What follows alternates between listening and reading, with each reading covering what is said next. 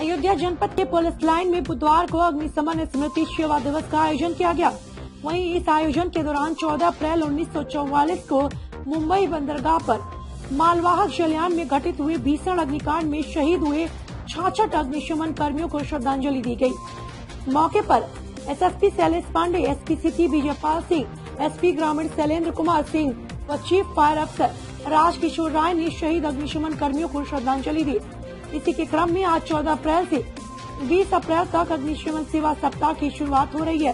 वहीं अग्नि सुरक्षा सप्ताह में अग्निशमन कर्मचारी आग से बचाव के टिप्स भी देंगे। इस दौरान अग्निशमन कर्मचारी लोगों से, लोगों को आग से बचाव के उपाय बताएँगे। और आग बुझाने से बेहतर आग की रोकथाम स्लोगन के साथ अग्निशमन कर्मी डोर टू डोर जाकर लोगों को आग से बचाव के लिए जागरूक करेंगे। देखिए चौदह अप्रैल प्रत्येक वर्ष अग्नि सेवा स्मृति दिवस के रूप में मनाया जाता है।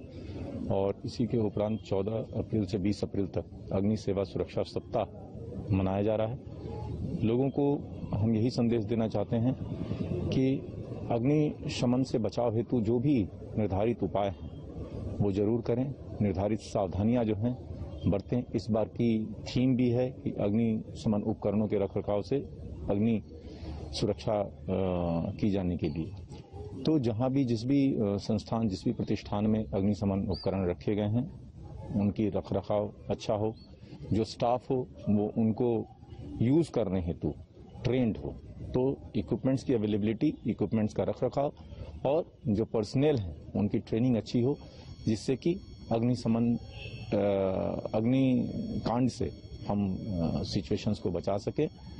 साथ ही साथ जो कोई भी बिल्डिंग बनती है तो उसमें प्रिवेंटिव तौर पे जो मानक के अनुसार अग्नि शमन व्यवस्था ज़रूर कराई जानी चाहिए और उसका रेगुलर इंस्पेक्शन और मेंटेनेंस होना चाहिए। इस जागरूकता को ज़्यादा से ज़्यादा फैलाने की ज़रूरत है, जिससे कि इसके महत्व को समझा जा सके।